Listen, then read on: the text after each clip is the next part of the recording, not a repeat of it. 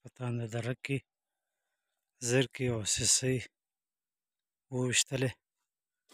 سره در دوه کوترو پرې او نور ښه خوند یې وکړي ښه مې ساعت تېر شو ښه شیان مو وخوښېدل ته خو لږ لار دی که نه زه څه شي وکړم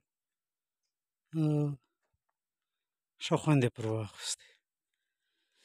سره زما د ورور پورې سره زه وم سره د نور انډیوالانو پورې